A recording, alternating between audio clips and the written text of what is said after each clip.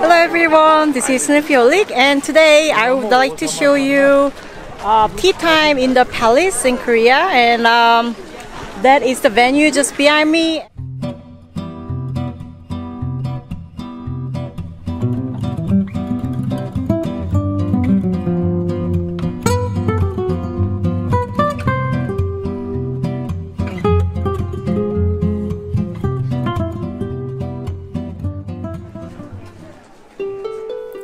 The peak of the Korean tea culture was in the Goryeo dynasty.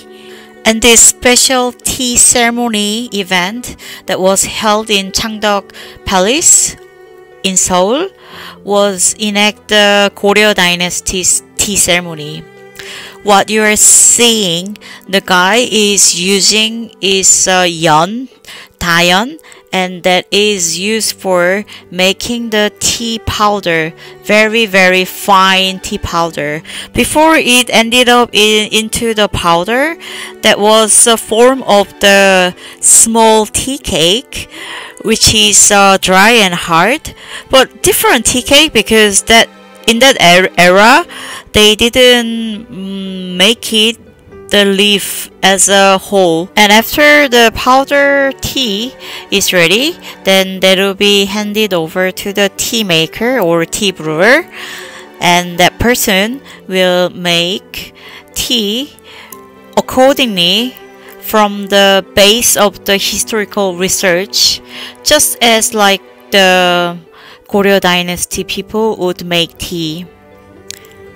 Yes, this looks a bit similar with the Japanese tea ceremony, but definitely it is different because maybe the form of the tea, which is powdered green tea, is similar, but the, the way of making has the culture mixed, so that would be different. Uh, what I heard from the relative person um, they really did the good research on the historical research on the tea making process.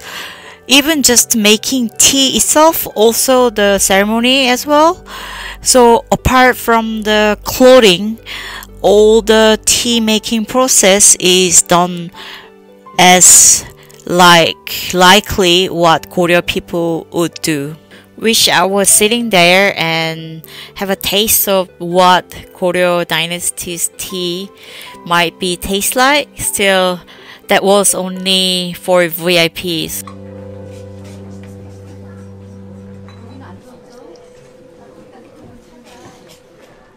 However, I was lucky enough to sit down in a room and serve the nice Korean tea.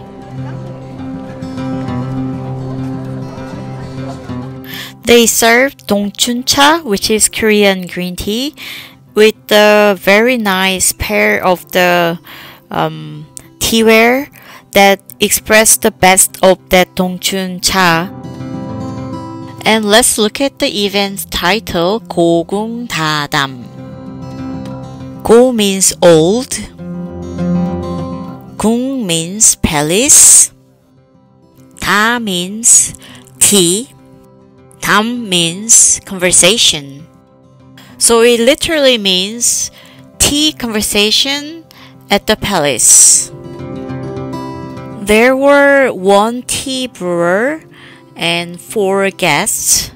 And among the four guests, one of them was my friend, and two other people I didn't know at all. Still, because we we were drinking tea together by chance, as a good luck. And um, we had a interesting conversation around the tea, also around the life, and that made me really, really happy and warm up my heart. This Dongchun cha, which is green tea, was very interesting because the taste itself was not very heavy, quite light and refreshing. Still, it could brew like several times. That will still have an enjoyable, nice taste of green tea.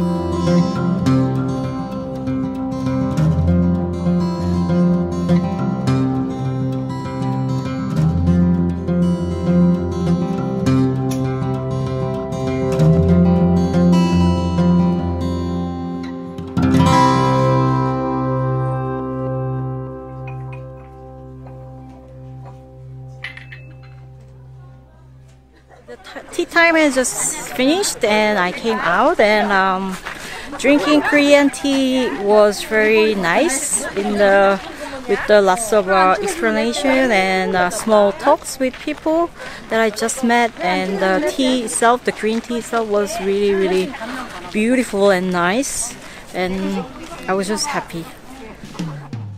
The weather was so beautiful and Changdeok Palace is really one of the beautiful palace of Korea. So I didn't want to miss the chance of walking around there with my friend. So we walked around quite slowly enjoying the beauty of Korea.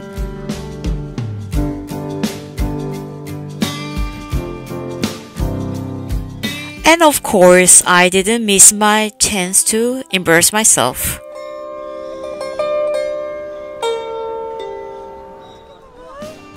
After some dreamy time, we came back to our reality and found a spot to sit down and had another long, long conversation. It was perfect afternoon after all.